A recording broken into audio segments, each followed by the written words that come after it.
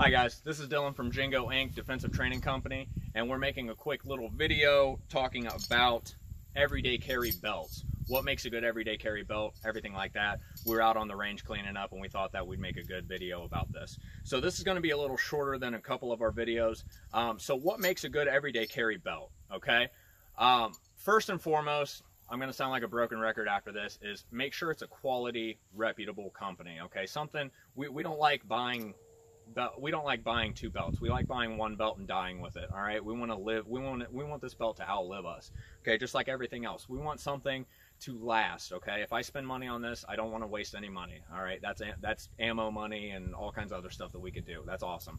So um, you want to make sure it's quality, okay? It's nice quality, it's reputable, they have a good warranty, they stand by their products, there's a lot of reviews, stuff like that. There's a lot of belts that I could recommend. I'm not going to make a video just naming off companies, but do what you can to do your research and figure out and make the right purchase, okay? If it is a little bit more pricey, it's probably pricey for a reason, so keep that in mind. Second thing is it needs to be stiff and it needs to be sturdy because after all, this belt is to keep our guns on us, to keep our magazines on us, to keep knives on us, whatever we have for our everyday carry, whatever it's, if, even if it's a tool pouch, if you're in construction or anything like that, it needs to be stiff in order to hold the things that you're going to be everyday carrying, okay? So obviously for Jingo Inc., we're a gun company and stuff like that. We do gun firearms training and stuff. So this belt needs to hold a pistol at least, okay? A pistol over here or up here or whatever, and it needs to hold a magazine. So it needs to be very stiff. And as you can see, this belt, this belt is not moving, okay? It's very sturdy. I could beat someone to death with this, okay? And if I were to squeeze like this, it's gonna cut my hand before I even am able to collapse it. It's very, very sturdy. I've had this for over almost two years now, and it has not weakened whatsoever. It's very top notch, okay? So definitely make sure it's a sturdy, sturdy belt.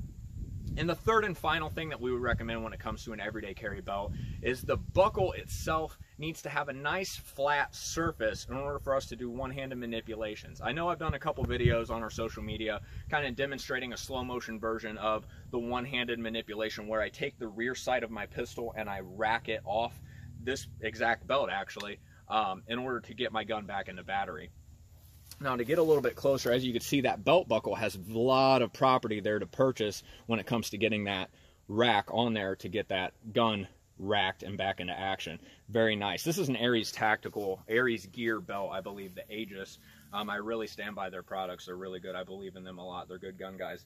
Um, another thing is when it comes to one-handed stuff is um, a good stiff belt, especially one with a nice flat buckle like this is also comes in handy when it comes to getting your AR-15 or your AK-47 back into battery as well when it comes to one-handed stuff. But we that's another video.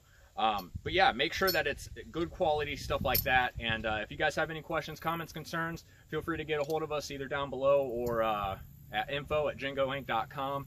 We're always putting classes up for pistol, rifle, shotgun, force on force is coming up. We also do medical, uh, you name it. Uh, the videos are going to keep coming, so if you want to like, share, comment, share it around, I definitely appreciate it. Sharing the knowledge is also, you know, it's that's part of uh, what we do. So uh, yeah, we'll leave it at that. My name is Dylan again with Jingo Inc. And always remember, a society is only as good as their amount of lethality under voluntary control. See ya.